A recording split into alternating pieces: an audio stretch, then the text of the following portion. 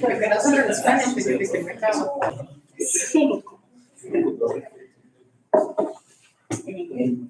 Sono latinoamericano. Yeah, but this is, this is the department, the program was in both sides.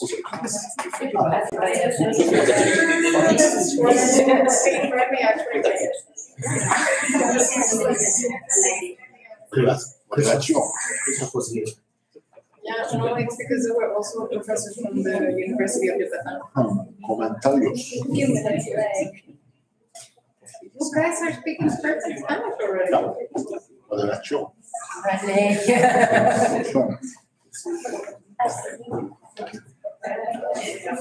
Aber dieser Tweet von Kaffee, da war dann Natalia. The acting was English. Was English.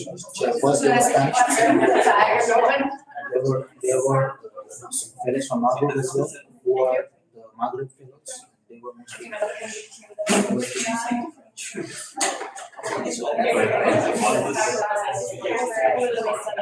Congratulations. Thank you. Aber ich glaube, äh, vielleicht die.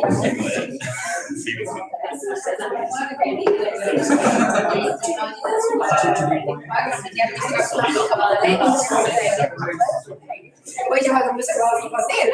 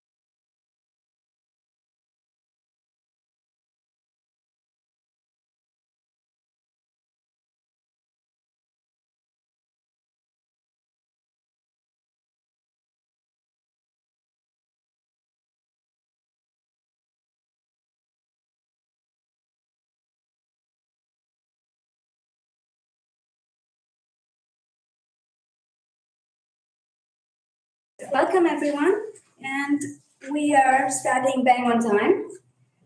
I'm Janvi Rao, and I'm working with the crew and uh, the University of Kassel, and that's a little bit complicated, but I will try and make it clear for everyone.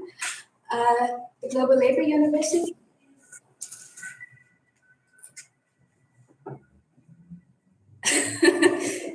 That's a bit of the music. Um, the Global Labor University is a network of universities across the world, and um, Praveen has joined us from India at Jawaharlal Nehru University, where he's a professor of economics at the Economic Studies and Planning Department, and also the founder and chair, and currently professor at the Center for Informal and Labor. Um, he's been coming to Germany I think for the past 25 years or so as a visiting lecturer, visiting professor, but particularly Kassel for, for the last at least 15 years, I think. Uh, first, as part of the ICDD, the Informal Center for Development and Decent Work, which has now been uh, subsumed under the Kassel Institute of Sustainability under the university, uh, where it continues as a working group and we'll have hopefully many projects, of which this is the first to set the stage. Um, I will now soon pass the floor to Lisa, but before that, I want to let everyone here know that the event is being live streamed. So there is a chance that you might appear on camera. However, if you don't consent to this, please let us know, and there are ways of preventing that. Um, I mean, you can raise your hands if you don't want to be on camera. Okay, I guess everyone wants to be a star. um, for our online participants, um, also welcome, and please feel free to participate by putting your questions into the chat, and uh, I can then ask Praveen to address them. Lisa? Yeah, thank you for the organizing team to set up this event. This is uh, having an online stream and uh, present uh, event with people being present in the room is a lot of organizational things to do. I have the honor to welcome um, Praveen Jha and to say a few words about um, the content of your presentation, giving you the welcome. When you wrote you wanted to talk about global exploitation chains, I was thrilled because it echoes, of course, the long tradition of work on global value chains, global production networks, global commodity chains, chains, which also has a long tradition at the ICDD, especially with view to, um, to agricultural production. And um, I am on my side myself. There are many, many different ways of naming these chains. I'm um, myself uh, part of the Team Global Production Network, and I like um, that approach very much because it allows us to see certain things. Whatever we call it, I think in the debate it is very clear that there are two different kinds of research done on that. One of them very much business centered, understanding development as a way to find ways how to improve the performance of businesses and thereby also reach social and economic upgrading. And the other strand of the debate is those who try to better understand how capitalism works and what the role of these um, uh, actors are in capitalism. And I'm very happy that we are here with somebody from the second strand of the debate because this allows us to critically discuss current developments in, in um, capitalism. So um, it does not only make visible how value is created or exploitation is taking place, but it also allows us to theorize on how power and state works in a capitalist economy um, and the capital labor relation, but also everything that is perceived as external from this relation. So, social reproduction, subsistence economy, small scale agriculture in relation to how value is created and distributed along the world and what this means for north-south relations. So I think we have a topic and a speaker who very much helps us to understand development, not in the way of understanding how business performs better, but development in a political way and in a human rights-centered way. So this is why I'm very happy to have you here, and I would give you the floor for a presentation of about 40 minutes, and we will have time for discussion and, and um, critical thinking afterwards.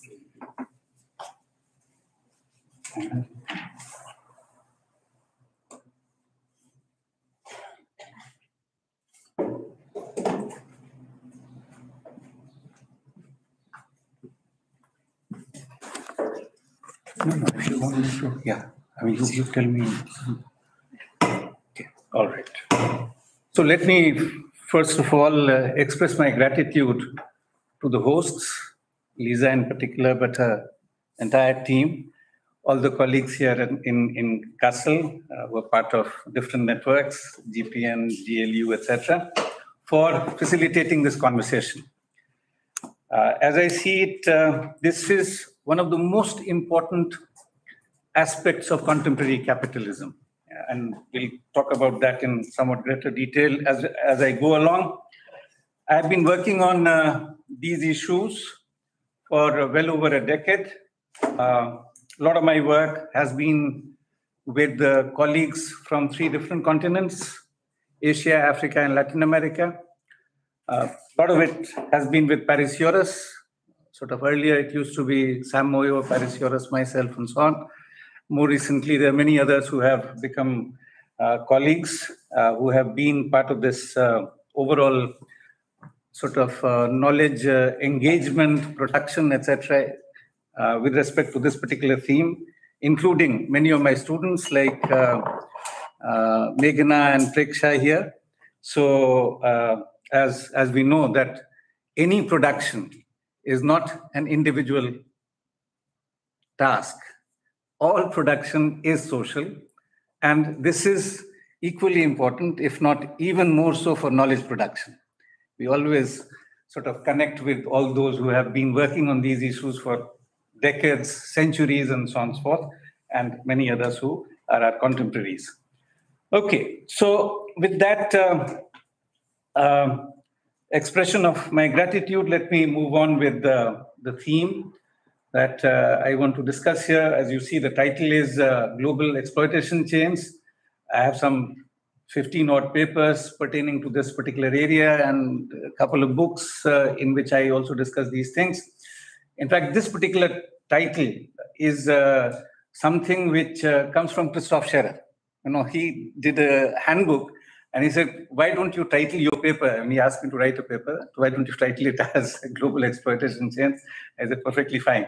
Okay. So what are we doing here? Essentially, uh, sort of, uh, I give you a broad framework. In fact, what um, uh, is very common in terms of, uh, uh, let's say, lots of buzz phrases, supply chain, commodity chain, and so on and so forth. My preferred thing has been uh, global value systems. Okay. For a while, when I started working, I used to use global production networks. But very soon, I realized that this is inadequate. Right? Uh, I'll probably try and explain that very briefly and uh, we look at what the situation is at the current juncture, in particular implications for agriculture. And then I have some concluding uh, remark, very brief remarks and so on. Now, if you are looking at contemporary capitalism, there are few markers which I consider to be extremely important. I mean, there are many other markers, but these which I highlight here from the point of view of uh, what we are discussing today. Yeah, so there was a very significant shift from uh, kind of regulated capitalism, dirigism, and um, to neoliberalism starts in 1970s. Yeah. Gradual kind of shift starts from 60s itself, but 70s by uh, sort of let's say 1980s. Yeah, by the end of that decade, we notice that there is a very significant shift.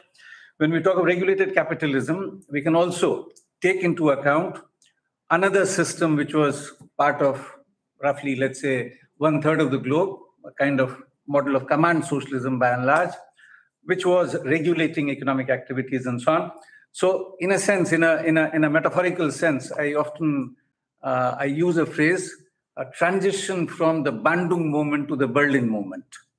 And the Berlin movement is the collapse of the wall and so on and so forth. And by then, you know, the ascendancy and hegemony of uh, neoliberal capitalism was very, very clear. Right? Okay, so that shift and something which is extremely important as uh, we see it. Uh, you know, if we look at capital in its different or as its different fractions, there are many things that we can talk about. but broadly, sort of we can think in terms of capital as finance and capital in production. Right? Now, the way I understand it, during the last roughly half a century or so, you know, capital as finance, which used to be kind of a junior partner, okay, to capital in production, we find that that has become the most important economic actor. And we don't have time to give you the numbers, etc. But if you're interested, uh, subsequently we can talk about um, sort of some operational measures to uh, discuss that. And what has this done to North-South relation? Uh, another very important feature. So, you know, apart from ascendancy of capital as finance, the other very important feature that we need to keep in mind is, which again is very significant, very novel, decentering of production from global north to global south. Yeah. Uh, select destinations, not everywhere. Africa has been by and large bypassed, yeah, barring one or two countries. But you know, there's this kind of decentering of production. All the sort of uh, frontier areas, which was very much the domain in terms of production, domain of the north, many of these actually have uh shifted now, of course, it's the shifting of the tasks, not the lock, stock, and barrel kind of shift that we need to understand. most important components there remain very much within the headquarters. Right? So this decentering itself has a particular nature, character, etc. All this has uh, deepened inequalities between north and south, and uh, as it happens, uh, we need to contextualize what is happening to agriculture within this overall macroeconomic landscape. Right? So that is okay. so coming specifically to agriculture, we know that lots of things have happened uh, post Second World War. Production has you know tripled, largely through green revolution packages. It has had uh, some sort of uh, positives, but a whole lot of negatives as well that we need to talk about. Yeah. Uh, nonetheless, this has been very uneven. We know that roughly uh, anywhere between 800 to 9, 900 million, you know, according to if you look at last roughly two decades or so, estimates tell you that around that they remain uh, chronically hungry, and this is the worst kind of uh, definition of food security when we talk of chronic hunger. Right? If you look at uh, all other relatively more sophisticated kind of definitions of uh, food insecurity, we can sort of uh, take it that anywhere between 2.3 to 2.7 billion. Yeah. Sort of you start thinking in terms of proper nutrition, balanced diet, and so on and so forth. So we are not talking any, any of that.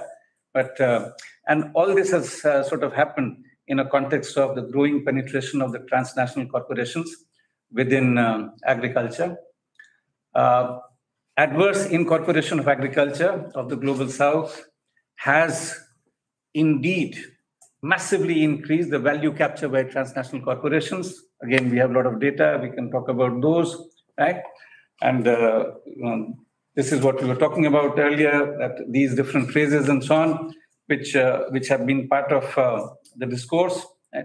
Incidentally, in the contemporary sort of uh, uh, discourses, it was uh, Immanuel Wallerstein who first used this expression, global commodity chains, which was taken over by the management schools Gereffi in particular, who is kind of you know what I call the managerialist perspective, yeah, or business perspective that uh, Lisa uh, mentioned, yeah.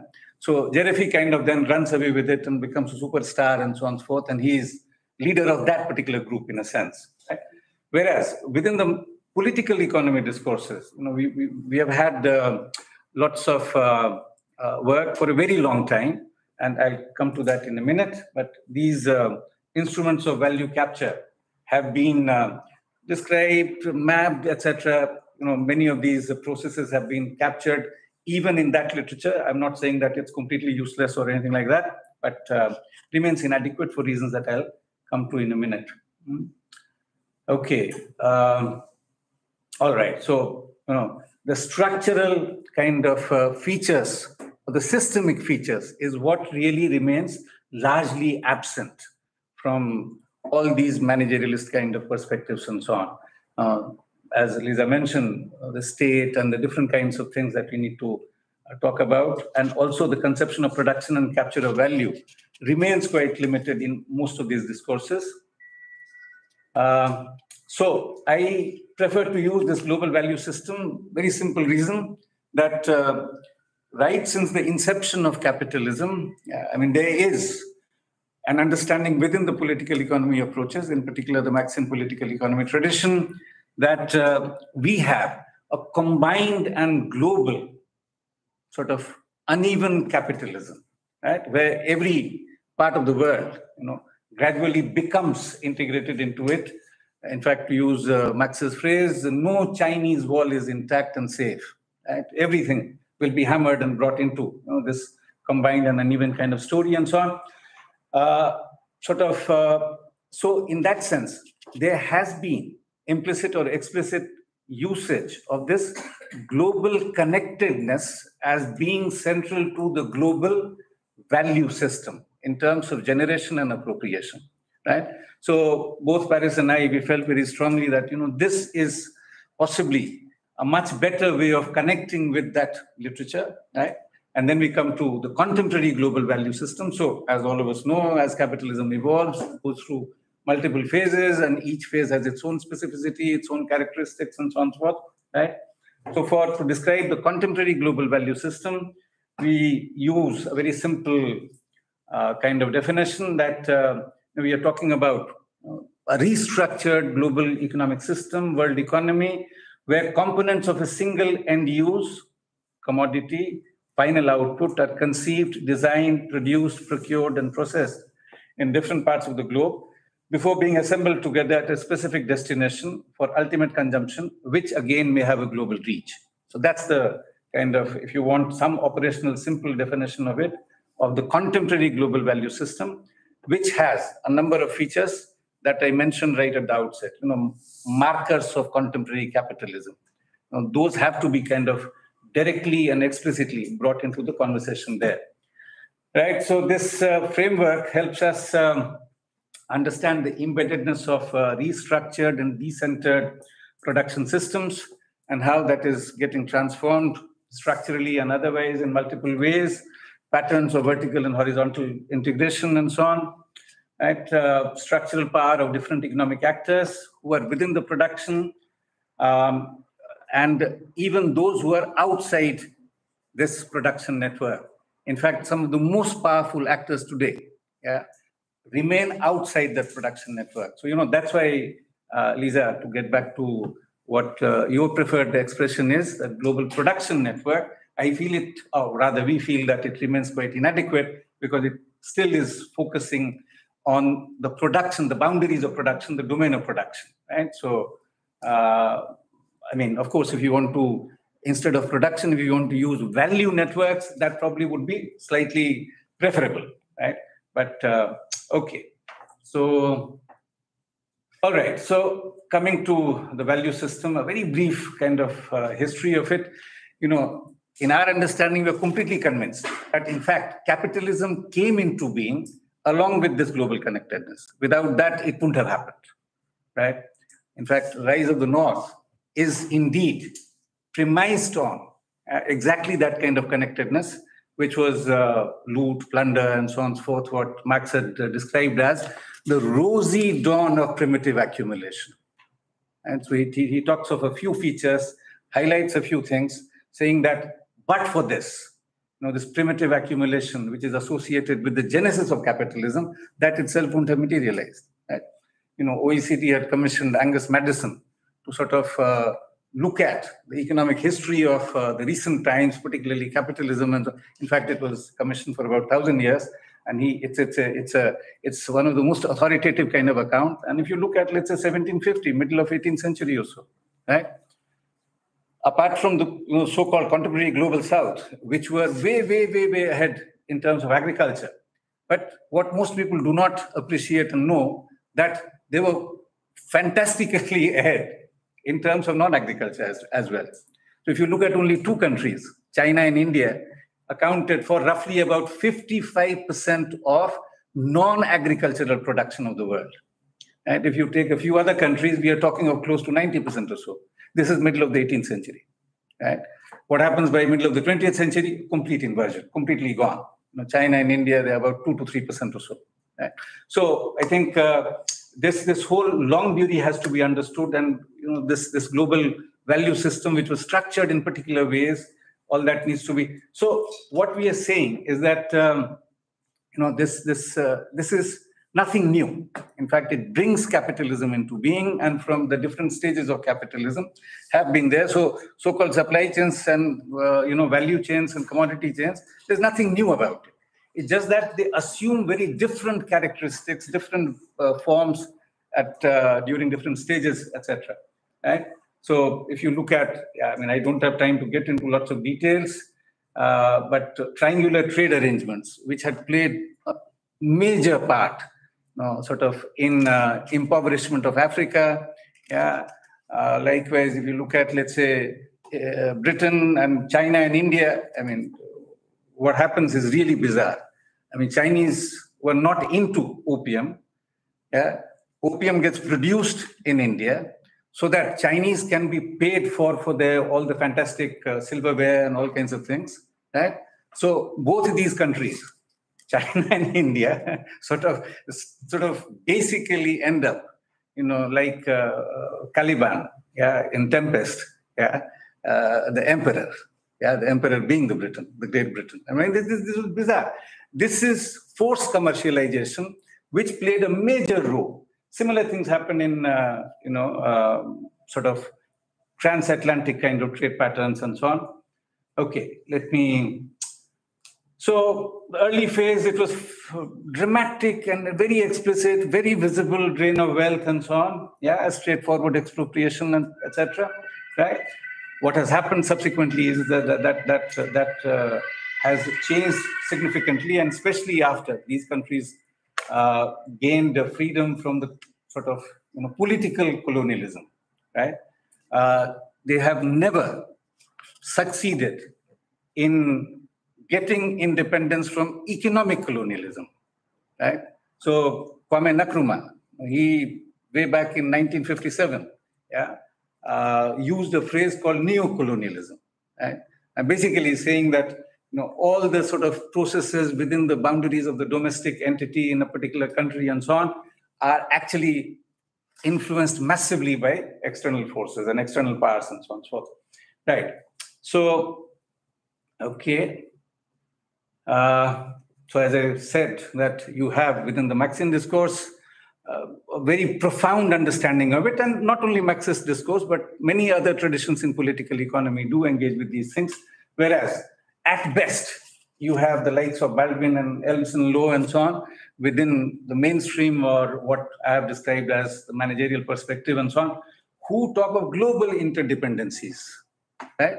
And say that, yeah, no, these inter interdependencies are not entirely new. There's some history to it and so on and so forth, right?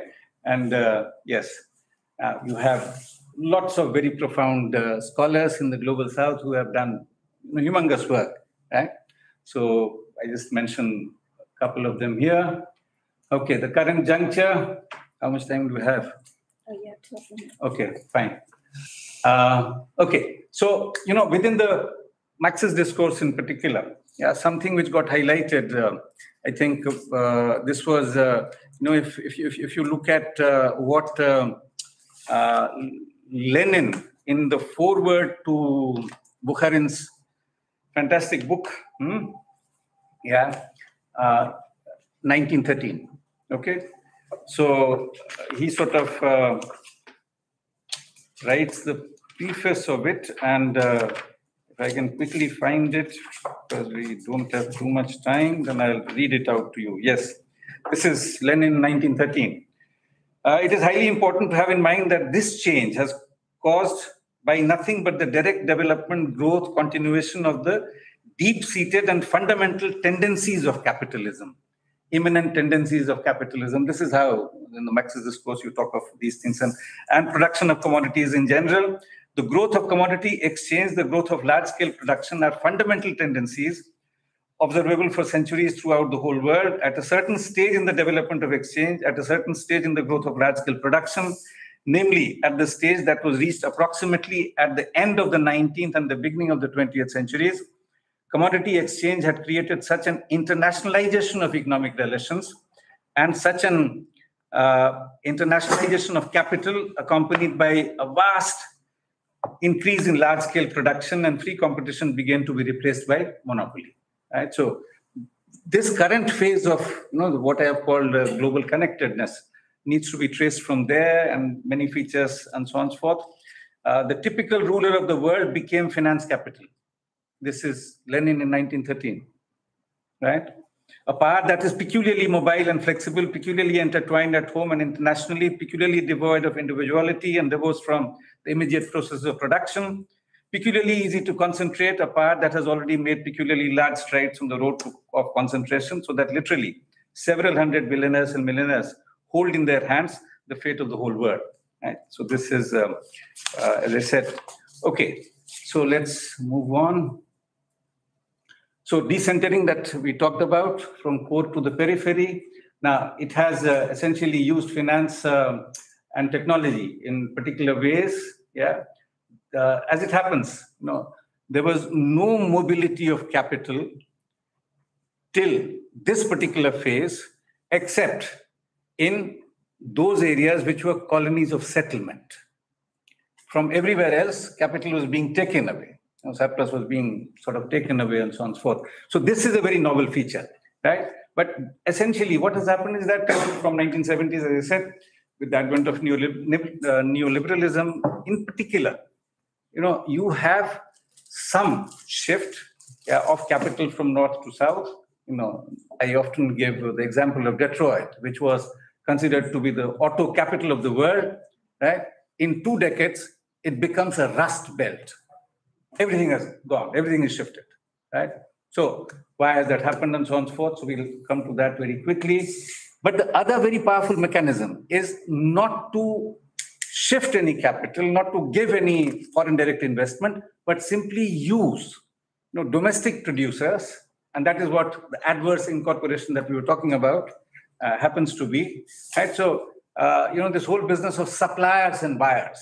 Yeah? So, incorporation of existing production into the global value system, that is another very important and new phase that we need to talk about. Okay, so, you know, many of you would have heard this expression by Stephen Roach, yeah, global labor arbitrage or wage arbitrage, right? Now, of course, that plays an important role, but uh, for uh, us, it is actually uh, what we call global labor, nature, and regulation arbitrage. Right? So it's not only the cost differences in terms of wages, right, which is critical, but nature. You know, I think uh, large uh, parts of Europe, for instance, you know, uh, continental Europe, uh, in fact, stopped producing uh, sort of uh, garments, etc., long ago. Yeah, why? Because it was considered one of the most polluting sectors. Right? You then shift it entirely to the south, or you know, get it from there, so that nature has no no value there. Right? Uh, okay, if we have time, I'll tell you many interesting stories there. Let me come to agriculture very quickly because I'm running of time, running out of time. Yeah. So deepening of corporate concentration, compression of uh, public investment, all this combines, connects very well with neoliberalism. Um, accelerated increase in private equity funds. This is an extremely important feature of the contemporary uh, neoliberal capitalism. In fact, two days ago, I was uh, at this Regulating Decent Work conference where somebody was presenting something on um, the US, right? And uh, she mentioned, uh, sort of uh, in, in, in, a, in a presentation, that the global GDP currently is 140 trillion, right? Of which private equity accounts for 15%. They are completely unregulated. Nobody knows what they are doing and so on. That's why I sort of of global value system and not production system. Right? They're completely outside that. Yeah, and they can mess up with the so for instance, if you look at uh, uh, you know uh, Black's, no, Blackstone, the current worth of Blackstone is uh, 914 uh, billion USD, right? Soon it will be a trillion or so, right? Yeah, and it it has been found by researchers that it already is connected with 479 companies. Right? Yeah, and you can't do a thing. Yeah, sort of uh, likewise, Carlyle Capital and so on. So those are some of these. So what what what happened here, as I mentioned, between 2004 and 2019, you know, these equities zoomed from seven in 2004 to 300, 300 in uh, 2019. Yeah, and um, a huge amount of uh, sort of investment. These investments are in agriculture, right? So let's just okay of about 300 private equity funds operating globally, close to 200 focus directly on acquisition of acquisition or operation of farmland, right? Uh, along with other agribusiness related activities, very well entrenched and so on. Land matrix database tells you that 4 to 11, anywhere between that uh, uh, range, 4 to 11 million hectares of land was snapped annually by global foreign investors a figure which surpasses land grabs towards the end of the 19th century, at the height of colonialism, right? So, you know, it's, it's, it's that kind of uh, concentration of wealth in TNCs has, of course, increased their structural, institutional, and discursive power. Sort of, we, we need to look at all these multiple dimensions of power and so on. Reflected in all kinds of markets, inputs, retail, processing, and so on, research and development activities yeah. Uh, increasingly it is being relied upon on tncs because states everywhere are basically either be, they have become in terms of these activities and areas become very weak and so on. So okay. Lateral alliances with big domestic businesses and mergers and acquisitions help in expanding and developing contemporary global agricultural value networks yeah all of you know abcd yeah sort of uh, ADM, Bunge, Cargill, and Louis Dreyfus, or the so-called ABCDs. Uh, grain giants estimated to dominate roughly 70% of the grain trade and have made several inroads into agricultural industrial system. Bayer, ChemChina, Syngenta, Dow, DuPont, their combined market share uh, is uh, currently estimated as 70 to 90%, these four corporations, right? a hand, handful of corporations are major players in food processing, retailing, services company, Nestle, Unilever, Walmart, Tesco, Carrefour, McDonald's, KFC. Yeah. Okay. Workers everywhere and peasantry is being completely rogered. Completely rogered. Right? Whether you look at Latin America, Africa, uh, Asia, and so on and so forth. Right? Um, of course, it's not the case that the peasantry is entirely immune uh, even in the north. Yeah, but then the kind of support system which is provided to them. Yeah, so in the U.S., for instance, you know, if you look at the suicide among the general population and among the peasantry, it's almost twice as high. So everyone knows about suicides in India, but it's not only India specific. That story. I think we need to. Okay. Yes. Uh, you know, average compensation in agriculture. Incidentally, Meghna had done this table for me. okay, so you can sort of see what is happening, just a fraction of uh, Brazil, China, India, Indonesia, Mexico, and so on. Um, again, basically, you're looking at hourly compensation, which is in the range of almost zero, yeah, in a comparative sense, to about 20% or so? Okay, let me not give you basically the data essentially tells us that hourly compensation per worker is uh, uh, much lower in the global south and it has remained uh, kind of at low levels very low levels. Again please do not forget that situation for workers in the north also is not that great. So joseph stiglitz tells you that for almost since the end of 1960s the most recent uh, period for which the data is available real wages of American workers have remained stagnant. Yeah, so, okay. All right, so ascendancy of corporate power in agribusinesses and food systems in the recent decades is historically unprecedented. Yeah, we have all the data to demonstrate and support this conclusion. And the TNCs, mostly headquartered in the north, are in commanding position and they are becoming the rulers and masters of the world. Extreme asymmetries in economic power between north and south, backed by current rules of the game, know, which is where all these institutions, Bretton Woods institutions and so on, World Bank and so, et cetera, et cetera. But there's a great deal outside that, beyond that, yeah. It's taking a heavy toll on peasants and agricultural workers in relatively unfashionable strands of literature that I belong to. It is still known as imperialism or neocolonialism, right? In fact, for me, there's nothing called, in an economic sense, post-colonial, right? I, I have always used neo-colonial. And I, I talk of early neocolonialism and late neocolonialism, right? Squeezes on the shares of incomes in food supply sort of chains for agriculture and the dismal levels and growth of labor compensation in South reflect a super exploitation using Marini's, you know, ages ago. Yeah, phrase that, uh, that, that, that he talked of Okay, I think I have taken more time than you had allotted to me, so apologies, but I hope we, we, we have some discussion because lots of things, lots of material which are there. Yeah, I think I find uh, Amin's expression, a generalized monopoly, uh, you know, the current stage, uh, the, the sort of, it's, it's, a state of generalized monopoly and uh, of, of uh, both production and finance in the global system that that that reflects it very well. Thank you for your attention.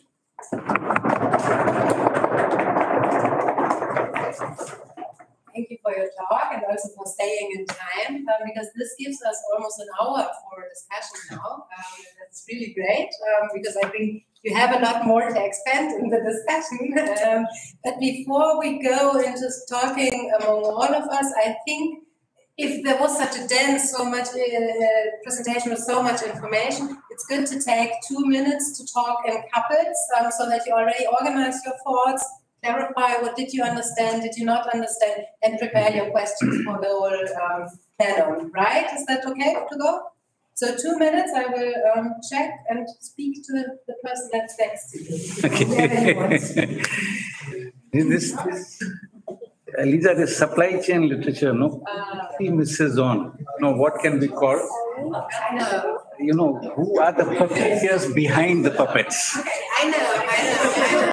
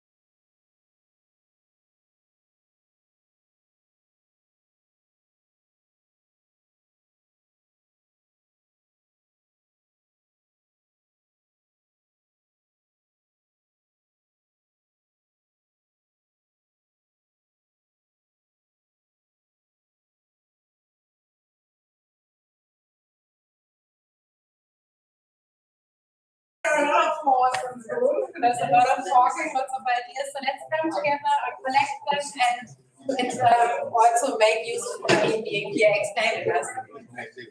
Once Toyota finishes this thought, we can start um, to come together, all together. What are your questions? And I would, um, I would start by uh, collecting maybe two questions um, and giving Praveen the chance to answer. One. Wow, okay. we take you and Diana and the two of you for the next round. Thanks, and my apologies that I leave just now for another call, but, uh, so Praveen, thanks for that. Um, I I mean, it's a lot of ground to cover in forty minutes, so I know that there's a lot of complexities that, uh, are built into this, difficult to explain. Just one sort of maybe nuancing that I want to ask you about, which is the role of, let's say, a government like the Indian government. Over the last, including up till now, um, they've been playing this, what it may be called a dual role of, one is opposing, you know, free trade, WTO kind of stuff in terms of saying, well, unless the Europeans look at their subsidies on agriculture, we're not gonna agree to X, Y, Z under, in the, WTO, the agreements on agriculture. Uh, but on the other hand, within the country itself, they are of course promoting corporatization and whether it's Indian domestic companies or multinational corporations or often the com- combination, including the, the three new laws that they tried to bring in and then of course they were forced to withdraw. Yes, yes. So how do you look at that in a sort of a nuanced perspective compared to this, Yeah. in relation to the GVS? Yes. Uh, Are you able to take one more Yeah, yeah, yeah. question? Yeah, yeah. Okay, yeah, for me. Um, in my case, it's just how can we explain or how can we analyze within these global value systems the South-South uh, relationships? Because of course, we always make a huge analysis between the North and the South, but we can also find uh, unequal relations between the cloud South, South-South. Okay. All right. So is that okay? All right. Now I think um, you know this. Um, the first aspect, Ashish, that you mentioned, it's uh, much more for posturing uh, to the world at large. That look, I mean, you can't uh, uh, shove us aside. I mean, you know, we are, we are, also, and then some small gains for sure. Yeah. Uh, so, for instance, uh, they managed to ensure that whatever is given as food subsidy and that remains intact. Kind of uh, there was a very faulty way of trying to calculate what is the extent of food subsidy for India, and then you know so uh, and uh, why that cannot be increased. So, so at that level, yes, a small gain as well that India stuck to its ground and so on. But Mr. Modi, uh, 21 World Economic Forum, where he says that uh, opposing globalization is as bad as terrorism. Right? So, I mean, he kind of equates both these. Right? And if you look at actual policies, what has been done, both for domestic corporates and, and, and for international corporates and so on, as you know very well, it's been kind of a one way traffic. Yeah. A lot of talk, a lot of posturing. Um, so, for instance, self reliance. What self reliance are we talking about? If we just look at uh, the details and so on. So, I think uh, uh, that is how I would, uh, yeah, of course, in a one has to then get into a more careful kind of nuanced kind of uh, discussion and analysis of uh, what are the different aspects of that state business nexus.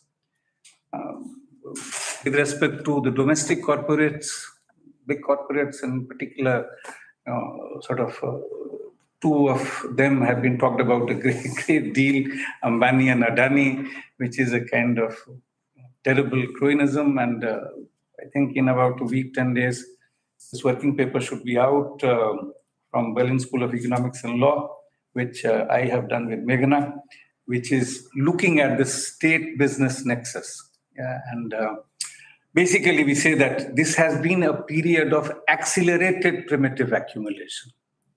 Yeah, so that is our position on that. Uh, absolutely right, Diana. You know, sort of you know this global north and global south. Yeah, uh, as you know, this global south as an expression uh, came into being in 1950s. Yeah, and um, has been um, there, but not everyone I mean, you know, it, world is a complex entity, and then you know this this helps us in understand a few things, which to my mind are extremely important to understand contemporary capitalism or capitalism historically and so on, and hence. You know, this has a validity, usefulness, etc. But we have to get down to lower levels of generality, get into, you know. So, for instance, what is China doing to Africa? What is India doing to Africa? Yeah. So there's a lot of discussion on that, and there are sort of uh, claims by both these governments that no, no, we are fantastic do-gooders.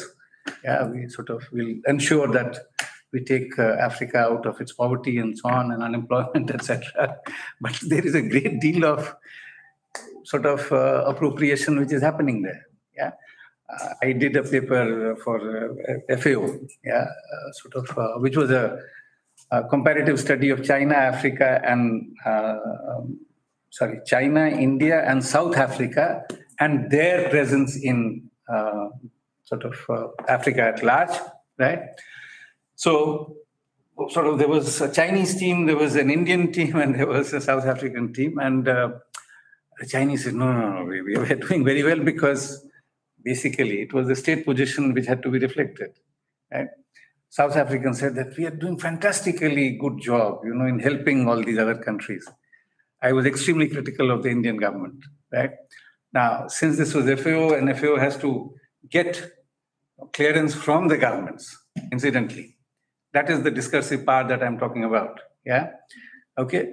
This paper remained blocked for three years. They were not willing to publish something, you know, under their own sort of brand. Yeah. This has happened to me vis-a-vis ILO and so on. You know, so let me not get into too many personal details.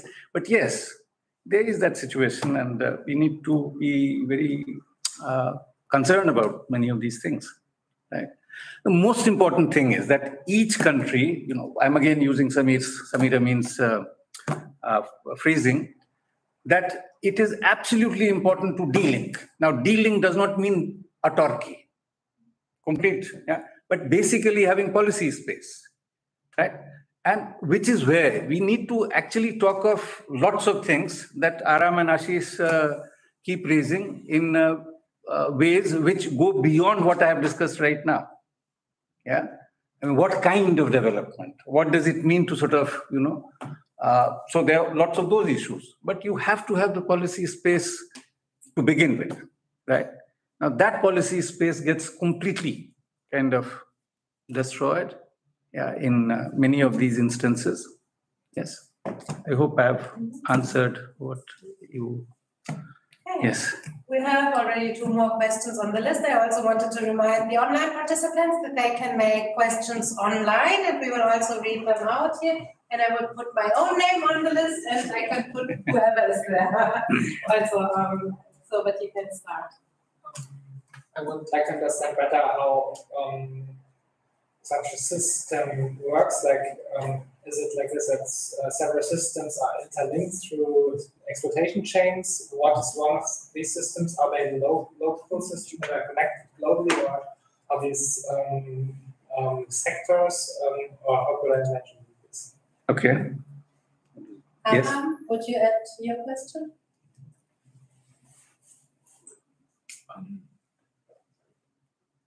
No, the problem with the professors is that they always speak too long. I'll, um, so I'd like to just start with a remark on the, the, the post-colonialism Mhm. thing. Mhm. I know no post-colonial theorist would claim colonialism is a thing of the past and that's it. Precisely the opposite. So this is no one would deny that there is such a thing as neocolonialism among those post-colonial theorists that I know. So um, I've actually two short questions. Um, one is, could you maybe expand on this labor nature wage arbitrage? Mhm. And is it related, or how far is it related to Amin and unequal exchange? Um, second is, I actually have two more questions if we have time later on. But the second is, um,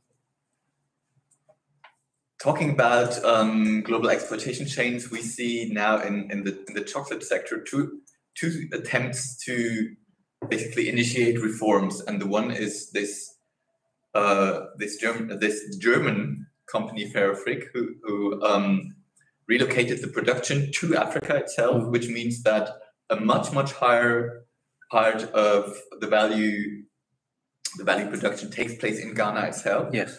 And the other is um, the COPEC initiative of Ghana and Cote d'Ivoire, who actually then tried, in analogy to OPEC, to form a commodity cartel to control the prices and to basically pass on um, the extra the extra profits to the farmers. Hmm. In how far would you say are these promising initiatives, or in how far is it just a fig leaf, or does it not change a thing? Your take on it, I would be very interested. Okay.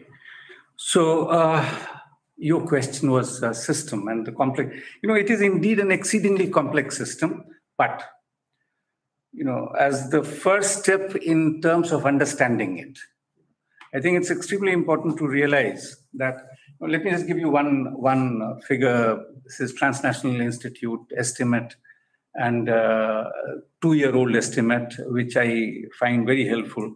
That uh, who are economically the most powerful economic actors in the world. And if you want to identify, let's say, 100 most powerful economic actors in terms of revenues, yeah, I'm not even talking of their total turnover and so on and so forth. So for governments, the revenue is what they get as taxes, right? And uh, for uh, all these corporations, it is what their profit is and so on. Of the 100 top entities, 71 are corporations, 29 are countries. I mean, this is an amazing stat, right? So if you're talking of, let's say, a Walmart, yeah, some uh, revenue being in several billions and so on, and Walmart's operation in Cambodia, right? Now, Cambodia's total GDP is 3 billion, 4 billion, something like that, right? Where uh, many of these corporations who go and operate there, they actually are buying mountains, they're buying rivers, right? So it starts from there, but then that is where we have to get into the political economy of it in terms of the linkages between the state, the domestic players, right? what you would call a kind of a horizontal linkages between those who are powerful. Yeah, I mean, state, you, we have to have a theory of the state. Right? I find Miliband's theory much more uh, kind of convincing than any other theory that I have come across, Ralph Miliband and so on and so forth. Yeah uh, in terms of you know, states' own interest and having that necessary relative autonomy, etc., etc. But let me not get into these details. But surely, this is then not confined to any one sector. It gets spread across the economy. So if you look at, uh, let's say, the, name which has become very infamous in the Indian context, the Adanis, they're into everything they sort of started uh, managing the airport, they start managing the coal fields, uh, iron mines, and sort of just name it, everything, right? So that is very much in the nature of capital. Yeah, it kind of insists on expanding itself. I mean, that is how it survives and so on. So spontaneous capitalism, and this phrase is due to Oskar Lange, right?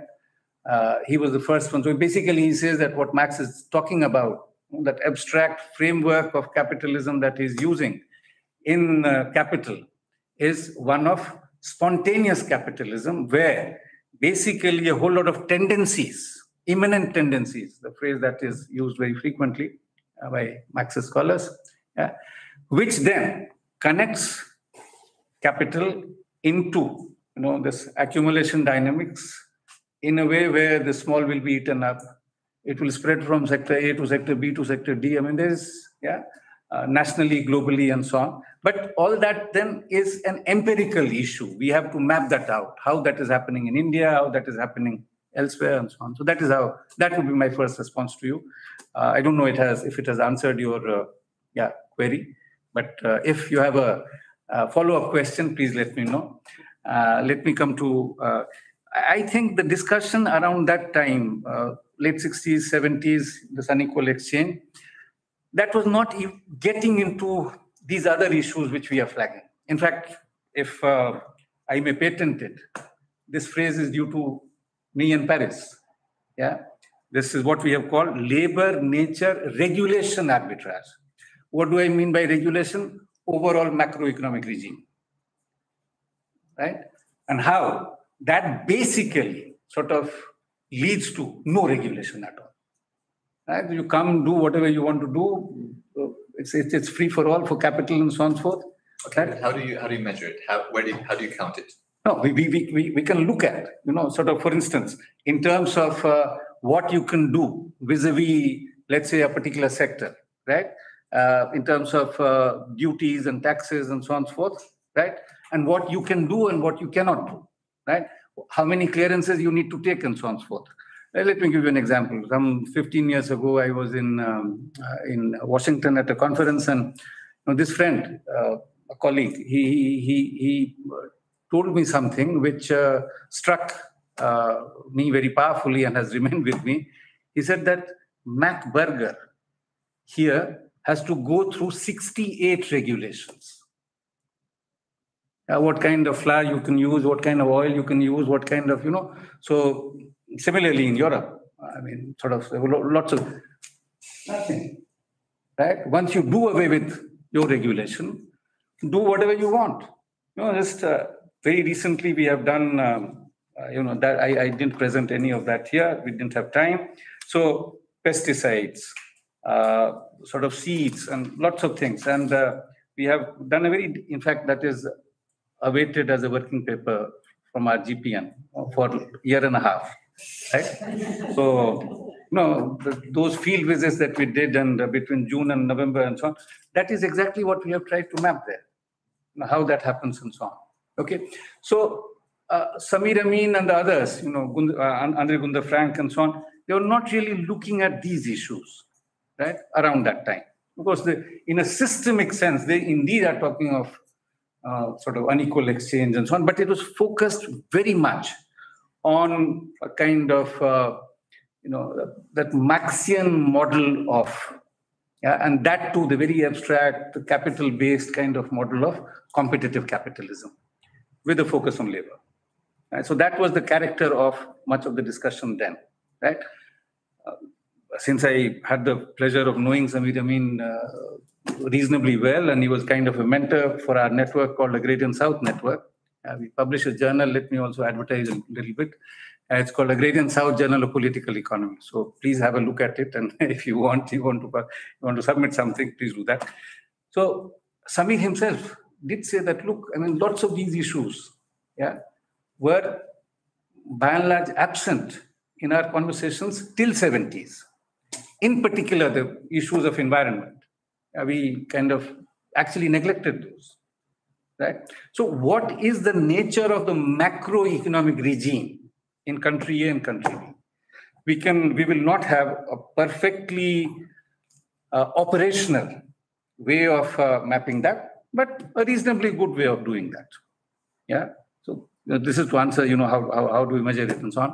I think we can make uh, significant, um, I think some of the recent work by the likes of Jason Moore, yeah, uh, who's more of an environment person. Jason Hickel, for instance, uh, he's trying to do exactly this. He basically tells you that if you look at you know, what is happening in terms of uh, sort of um, uh, what he calls actually plunder, yeah, drain of wealth. He says that drain of wealth is very much evident and so on, and lot to do with the kind of uh, you know exchange rate differences, yeah, and how that then impacts on. Yeah. So there, there- there's a debate there. and you may not like Jason uh, Hickel's kind of uh, take on that, but there is something to be said, uh, yeah, uh, in terms of engaging with that kind of uh, argument to measure, yeah, what are the different kinds of regimes and what one regime can do in terms of, let's say, limiting that kind of outright drain. Yeah, countries like India have more or less given up.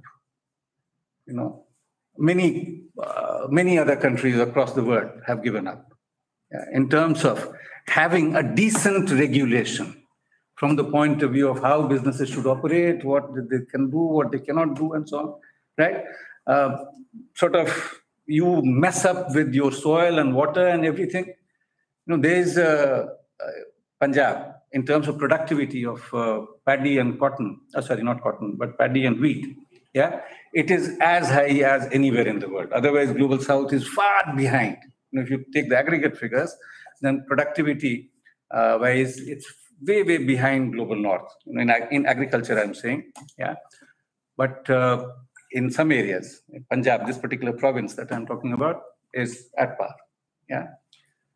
At what cost? You know, there is a regular train which goes from Punjab to a neighboring province, Rajasthan. It is called Cancer Express. And sort of popular name of that train is Cancer Express. Why? Almost six out of 10 newborns now, yeah, are deformed. I'm talking of districts like Bhatinda and so on, which have been the hub of the so-called Green Revolution. Yeah, that was state promoted complete deregulation. That was state promoted. Green Revolution, right? And the kind of dark spots it has and so on and so forth. So I think we can do quite a lot. Yeah, it will not be a comprehensive kind of mapping yeah, for a variety of reasons. Yeah, but uh, so, for instance, you know, as I told you, the masters of the world, new masters of the world, I would call equity funds the new masters of the world now, right? We don't know reasonably enough about them. Yeah, the kind of uh, what they're doing and so on and so forth. So we can't even identify or we can't even map that. Then you know, how much can we? So there are these challenges, but my sense is that we can do uh, a, a reasonable bit. So that was um, on that. Um, so neglecting nature, neglecting overall macroeconomic policy regimes, you know, from the point of view of effective regulation. That is the point I'm making. And uh, labor, again, I mean, sort of, India has a very low minimum wage, official minimum wage, and so on, as per government's own estimate. Some 85% of the work, workers don't get minimum wage. So you have something on paper, but not getting implemented. So, I mean, there are these implicit and explicit kinds of uh, regulatory uh, issues, which, which, which we need to again bring into the conversation that uh, we are talking about. Yeah. Uh, labor arbitrage, as I said, everyone knows very well. I mean, if you look at uh, when I uh, sort of did some work in this area early on, I think around 2005 6. Yeah. At that point in time, uh, for standard manufacturing sort of job, uh, the difference between the per hour wage or what you call the manufacturing wage between China and US was approximately 64 times. Okay. Yeah, so in the manufacturing sector, what average wage would be for a day or for an hour, you know, doesn't matter, whichever way you calculate it. Yeah. yeah. But as long as you keep the denominator the same, you will get this 64 times. So that, that's why this whole Stephen Roach kind of literature became very famous.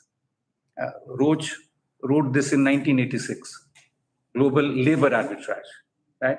This is something which also became very fashionable amongst Marxist thinkers and so on, right? So many of them, you know, monthly review school, for instance, they are still stuck in, you know, not all of them, but many of them. Yeah. Uh, Intan Suwandi, for instance. Yeah. So if you look at her work, and she's basically talking about this whole labor differences. This is where we thought that they're stuck in a kind of a trap. No, labor arbitrage is in, indeed a very important factor, but there is so much happening outside that in terms of regulation, yeah, in terms of uh, you know uh, how you treat your nature. As I said, everything disappears from uh, global north, which is supposed to be polluting. Bang in the south, right? So, yeah, a World Bank paper, which as it happens was leaked at some point. Okay, it said that opportunity cost of life in the south is very low. So shift everything to the south. He happened to be the president of Harvard. Okay, so maybe my question connects to this a little bit, and I think we still have time for question comment. You're also going to make a question. That's good. Ah, sorry, sorry, sorry. I, I haven't, I haven't answered. No, no, no, no. Very, very sorry, very sorry. Yes, yes, yes. Okay. Uh, as- you said, uh, that this, you know, problem of being a professor is that you talk too much. So I, I actually spent too much time on uh, the first question. No, uh, Zifat uh, uh, and um, Georgie, they have done excellent work on this, exactly this thing, and uh, at uh, both these countries, uh, Ivory Coast and Ghana, and and in fact, Zifa was presenting something three days ago in Geneva. So they think that these are, yeah, sort of very positive um, steps. I'm I'm skeptical.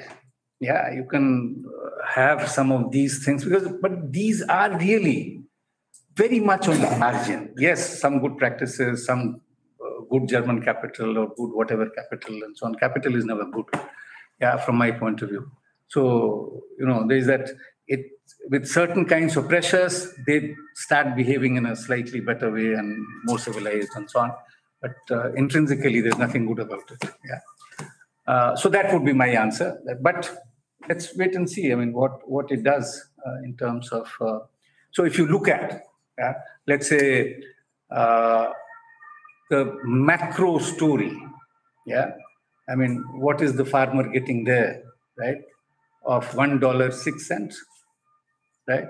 You don't take into account fertility of land. You don't take into account human capital, the experiences of the farmers, and so on, for accumulated experiences for centuries.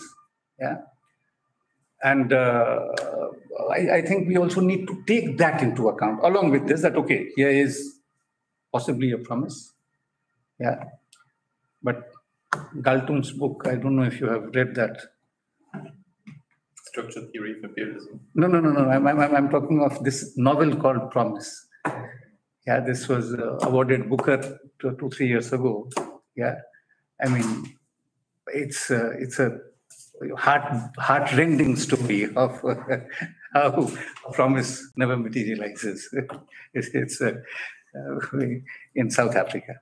Yeah, that this whole capitalism and so on. Yes. But before you go into talking to each other, um, I, I would also make my questions. We have one more comment.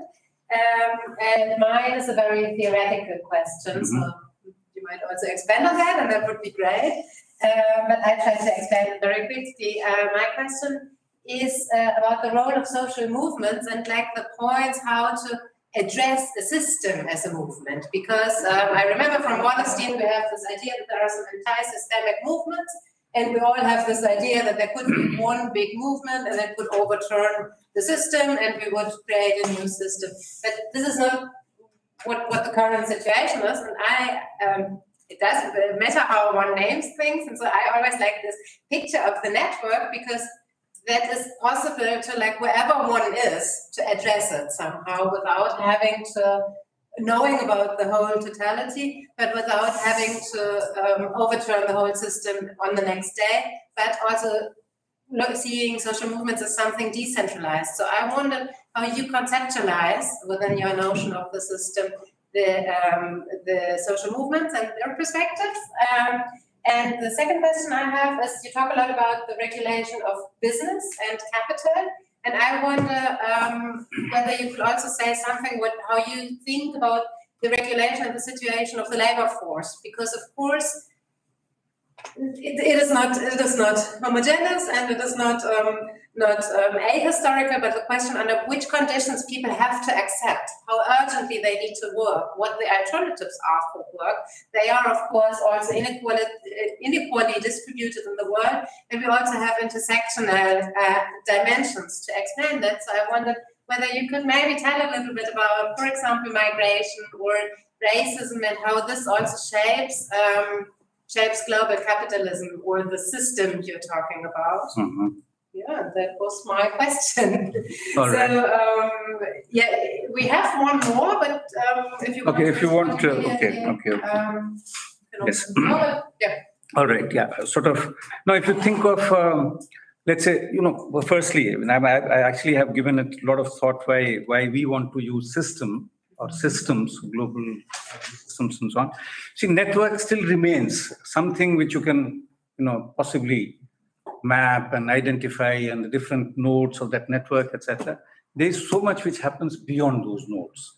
Uh, sort of the way we, the role of the state, role of, you know, this instrumental part, this discursive part, all kinds of things that we're talking about. So that is, and that's why we insist on, uh, I mean, sort of, you know, I have no problems whatsoever with anyone using any particular phrase, but in the way we think, uh, you know, uh, we feel that there's some serious limitations of, uh, yeah. So I, I told you that I used Global Production Network for a while, some 10 decade, I mean, 10 years ago. And uh, then I thought that maybe it's, it's, it's not uh, helping my own understanding, etc., etc. So, but that's, as I said, if you want to use value network, that is certainly preferable to production network. Right? As I, as I mentioned, you know, all these hedge funds, uh, equity capital. I mean, you know, in the medical uh, or the health sector in the US in the last 10 years, equity capital has increased by 25 times. Oh, this uh, I learned three days ago. I mean, just a frightening thing. Whatever health system you had, everything is being captured, etc., etc. Nobody knows I mean, who these uh, sort of uh, uh, particular equity funds are that because they're not being regulated, they're not supposed to declare things and so on and so forth. Unlike, for instance, Korea, where they insist in the health, center, health sector that if any equity fund is entering it, you have to disclose and so on. So there are these issues. And so, as I said, I mean, we have uh, written quite a lot on these things. So, uh, and our preference, but yeah, I'm happy with, uh, after all, Immanuel Wallerstein is a very respected Marxist. Yeah, commodity chains, sort of, yeah. So, whoever wants to use whatever, but I find that this chain kind of metaphor is insipid, passive, if not seriously inadequate. Yeah, so that's how I, I said it basically is looking at some aspects of business relations and so on and so forth. There is so much which is happening behind doors. Yeah, so that's why the systems approach and so on. Social movements, and uh, of course, you see, this is not an area in which I have uh, done theoretical kind of. I mean, I've you know kind of looked at a lot of literature, but uh, I would not say that I'm, I'm, a, I'm a serious student of yeah that domain. So, but having said that, so um, you know, sort of um, some 1950s, uh, a famous literary figure said India that uh, India is a country of million mutinies. So he talked of all these different movements, some movement in my village, some movement in some other village, and so on. And when I came across that statement, I added, but they never come together.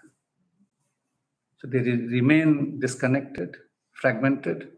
Yeah, that is how I, when I look at the global story, that seems, but again, one can't be sort of either dismissive of it or one has to. Uh, in, in, in Mexico, for instance, in your country, and what what uh, they have uh, achieved, the Chiapas and so on and so forth. Yeah, I think sounds impressive. Okay, uh, David Barkin, who has written quite a lot on that movement, uh, tells you that look, here is a movement which is which has so much promise. Yeah, so there is uh, in terms of appreciating these things, there are all kinds of views and uh, so on. Uh, I do think that we need to think in terms of very different kinds of political processes. Yeah.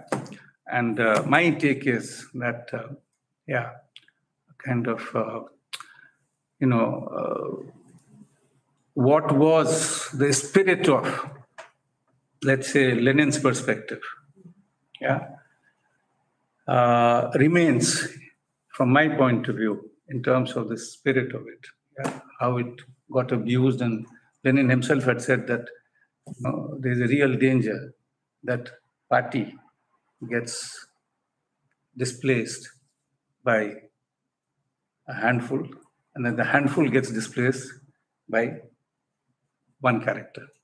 In fact, he in 1922 he had said it in so many words about Stalin that a snake in the sleeve. He was so kind of uh, worried about what he might. So, you know, this is, as I said, a very large, complex area again on which I have not done uh, a lot of uh, work and etc. But in, I, will stop with that. In uh, 1980, if you look at registered NGOs in India, which were also many of them were calling themselves social movement, uh, was approximately 1200 registered because you also get some money from outside yeah that was the reason behind you know so for foreign exchange whatever some yeah. Uh, some organization called PRIA estimated the number of these ngos early 2000s i forget the exact year around 2010 or so. And the number was 700000 from 1200 to 700,000, which was more than the total number of Indian villages. So in many villages, you had more than one NGO or more, you know, social movement. Yeah. I actually call it micro imperialism. Right. So the kind of thing which was happening in my country. Yeah. So and I can see uh, kind of uh, problems that it has. But again, there are lots of very good movements which need to come together because what else do we do?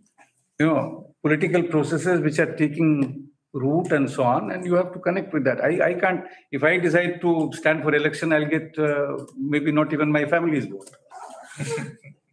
right? I mean, that, that, that's a, you see. Um, democracy. I, I, wouldn't say that, but but there, there, there is a problem. There, there, there, there is a serious problem there, right? Um, yeah. So I I don't know if I have managed to answer your question, but uh, yes. Uh, and in terms of labor force, yeah, the last last thing again, you know, sort of capitalism always uses labor as per its requirements and so on yeah. And uh, so all those who got uh, sort of expelled from the circuit of capital in UK and then Europe, where do they end up with? That's one of the most powerful waves of human mobility ever. Most European scholars call it migration. It was not migration. It was stark and naked plunder of an entire continent, North America and South America. Right? I mean, you settle into someone's house and you say that I'm a migrant. I mean, how weird can we get in terms of the politics of language and language of politics? Right? So this was straightforward, you know, appropriation. Right? It still gets described as the second most powerful wave around the same time, yeah, which was central to building of capitalism, was all these Chinese and Indian workers in the plantations, right? All those very well-known plantations about which we have read and we discussed quite a lot and so on, right? You just, yeah, they were not sort of exactly, yeah, uh, sort of slave labor, but pretty much semi-slave labor indentured, bonded, and so on and so forth. And then you had yet another. I mean, so you settle in North America, and what do you do? As soon as you have the land, you don't want to work. So where do you get your workers from? Africa. Entire Western African coast is completely denuded of, to begin with, able adult males to start with, and then the entire families right? That is what I was referring to this transatlantic kind of global value system. Yeah, and what kind of implications that it has. These are the three most powerful, you know, sort of uh, in terms of numbers, etc., mobility waves. So yes, I mean, it is so central to the building of colonialism, right? What happens today? Uh, Juan Martinez Alier sort of has a very nice phrase for it fortress Europe, right? Uh, sort of uh, previous generations could go anywhere that they wanted to go, but nobody can come here. They can keep dying in the Mediterranean, right? So, yes, this whole thing, this whole neoliberal globalization, whose mobility has been impacted massively? Labor's mobility. You don't want them, right? Within India, one state doesn't want workers from other states. There are questions of race, questions of caste, you know, all these things become then. That is where I think empirically grounded kind of, uh, you know, um, analysis and understanding on all these issues. Yeah, there's a lot of literature on these, but then, I mean, of course, in your 40 minutes, uh, I could have raised only four points, right? Yes. Um, we have one more comment. I think we could go for another one, um, but uh, okay, Aram. But then uh, we are almost also Yeah. um, at the end of time. Depends how much you still want to go on discussing. But maybe let's take these two together and already uh, see if we approach the end of the session. If there is nothing from the internet or anybody else, Don't have anyone on the net. Huh? go ahead. Uh, uh, rentier economies, which which primarily uh, accumulate uh, the their their uh, income through through external rents, specifically the extractive sectors in Latin America and the. Maghreb region, the petrodollar sectors, uh, petro uh, economies. They do not uh, uh, uh, intensively integrate their their domestic productive uh, forces like uh, the, the agricultural uh, supply chains and the manufacturing supply chains. So in that regard, but that still creates a lot of uh, economic and socioeconomic inequalities. So in that regard, where the uh, uh, domestic labor force is not as intensively integrated as the agriculture and the, and the, and the uh, uh, uh, manufacturing supply chains like the rentier economies, will your global value system framework still be used in this regard to explain the, the uh, global uh, north-south uh, process of value appropriation? Okay. Yes. uh-huh. Yes, go ahead. I mean, we can, yeah, it's best that. Um, one, one was just a minor point. Um, I, I share your diagnosis almost 100%. I'm a bit uneasy about the heavy focus you put on these north-south asymmetries.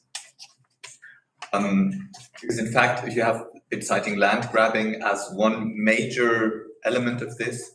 And who are the major players? Often from India, from Saudi Arabia, from China. So I think it's become more complicated than this and I think we need to um, we need to take this into account, not to play the game of Mr. Modi and others who will then decry the it's it's all the North, it's all the World Bank, it's all the IMF, and we are the good guys. Hmm. Um, second point, small follow up to actually to, to what, what Lisa was saying, and this now refers to the the conception of capitalism that we have and the idea of political alternatives, basically. And and here, um, I, I think, well, well, if I understood you correctly, so your idea was, well, actually, we have to get back to Lenin, and so, but this would then be, you know, the old revolutionary idea of um, state socialism, global workers' revolution. Um, which does not sufficiently. I mean, I'm, this is not. I don't, I don't mean to be that that, that offensive, but uh, but but I think we, if we if we talk about this, we have to deal with the experiences that we have made, and the experiences with state socialism are abysmal in terms of human rights, etc. And for me, this is not the lesson, oh, socialism doesn't work, but it is the lesson, power corrupts. And so I think this was not what, what Lenin anticipated very cleverly, very wisely, was was not something that we can act that we can shrug off and say, oh yeah, eh, Stalin was a bad guy. But apart from Stalin, it would have worked. No, we have dozens of other socialist countries where it was exactly the same. And this then begs the question, okay, should we then not be looking for alternatives which look not for a centralization of power and then we make everything fine, everything just, everything socialist, but a decentralization of power in terms of local local autonomy. And then we are again with the, the alternatives and the conception of capitalism.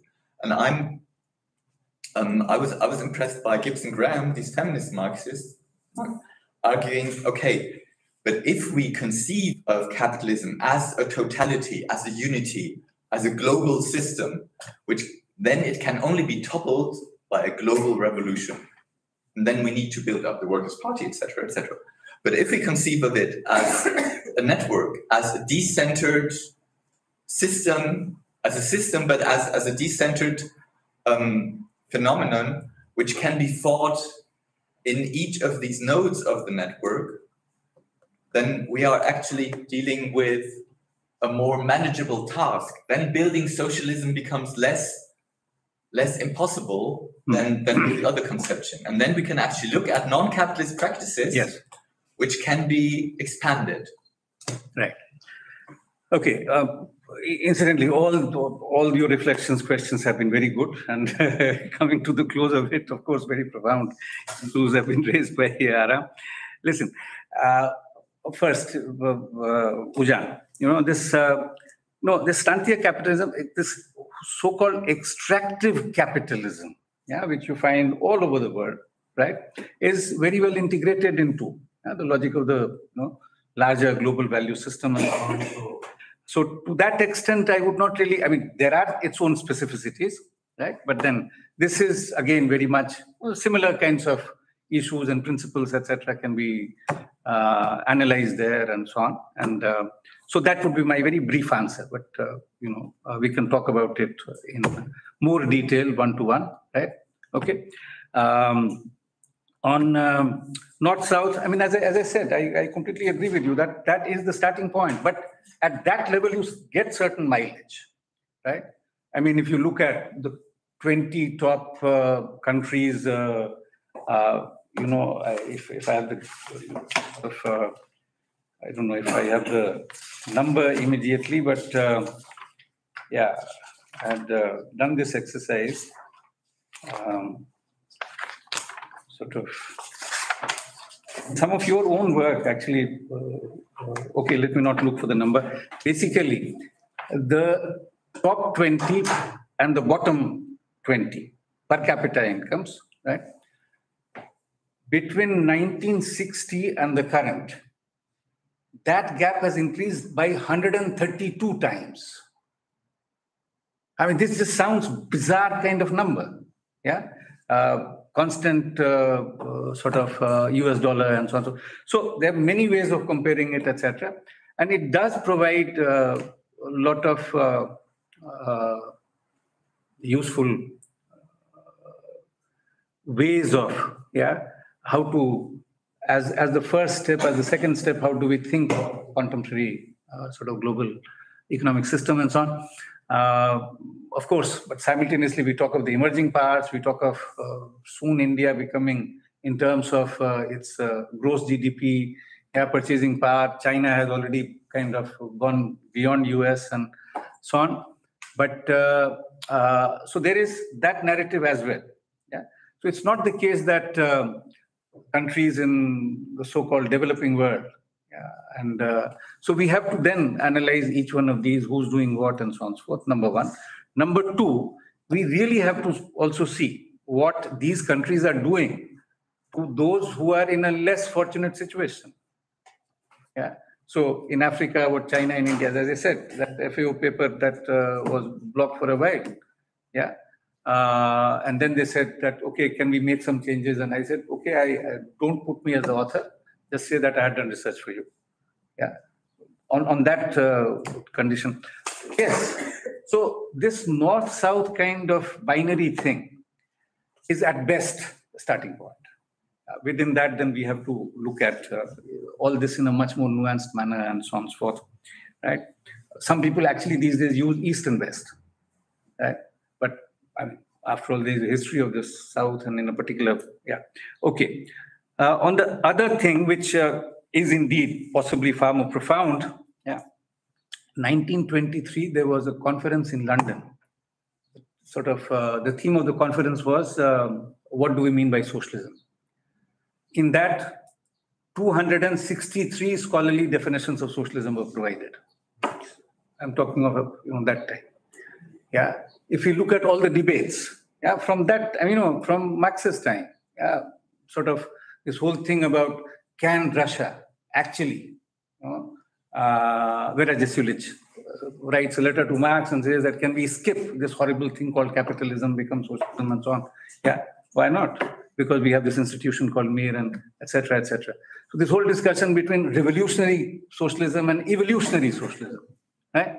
Domenico Mario Nuti in 1984 tells you that actually Scandinavia is truly socialist.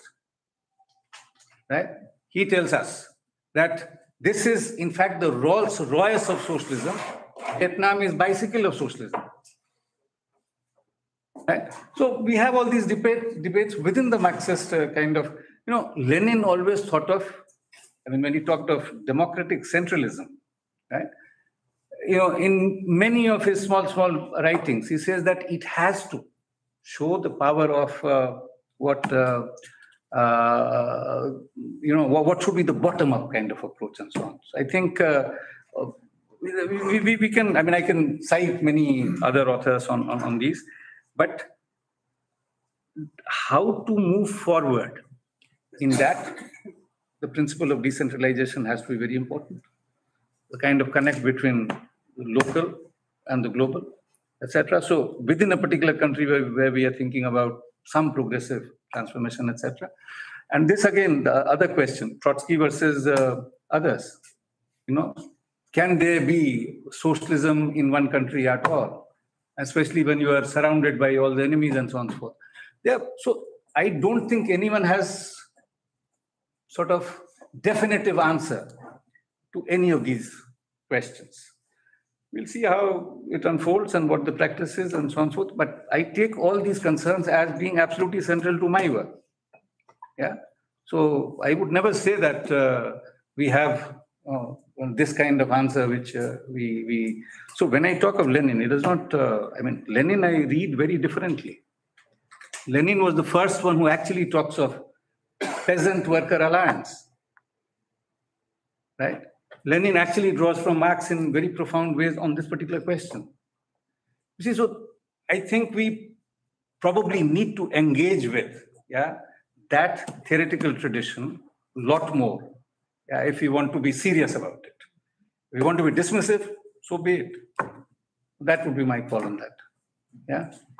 Maybe that's a good uh, way, last final round of words. And of course, I also want to highlight, I mean, we're talking about very big issues. We talk about how to best analyze the global capitalism and also how to address it. It would be very strange if we had one opinion about that and no discussion. so I think this is very good that we're having this discussion. I also want to remind we're continuously having it within the Global Partnership Network and the Global Labour University. And it's just really great to see. We're going to go on with different people and different constellations, but we are part of one big debate there. And so thank you for your attention today and see you in other circumstances. Okay, thank you. Thank you very much to the organizing team and to all of you for being part of this conversation. Thanks very much. Thank you.